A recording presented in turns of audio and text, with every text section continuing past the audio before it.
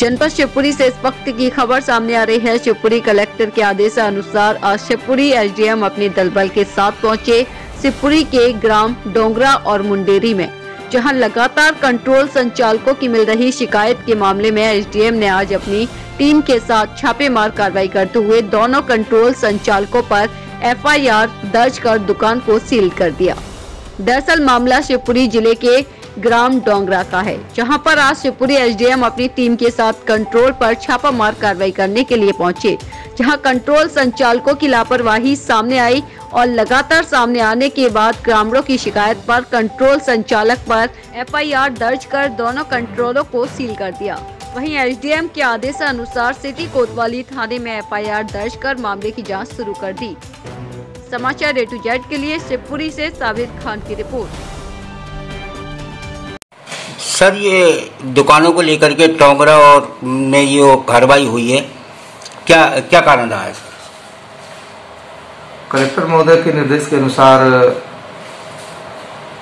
क्षेत्र में शासकीय उचित मूल्य दुकानों द्वारा शासन की योजनाओं के अनुसार सभी पात्र हितग्राहियों को राशन प्रदाय करने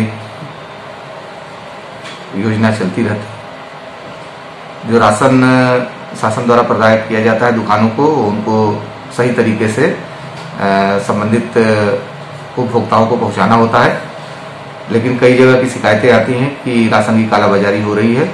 इसी के परिप्रेक्ष्य में मुरेड़ी और टोंगरा, इन राशन दुकानों की जाँच कराई गई थी, जिसमें मुडेरी में दो लाख छियासी हज़ार के लगभग राशि का राशन, खुर्द बुर्द करके गबन किया गया था।